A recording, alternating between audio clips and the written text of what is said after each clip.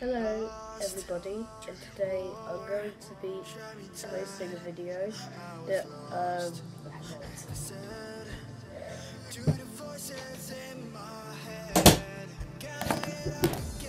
I have not paid I've not made any videos for two months now. And I'm gonna start making more videos so I'm just gonna let you guys know that um, yeah, I did have an asthma attack last night, um, and yeah, it's been very bad for me for the next two months. I've been sick, and it's just horrible. That's exactly why I stopped recording. Uh, just let you know I'm back.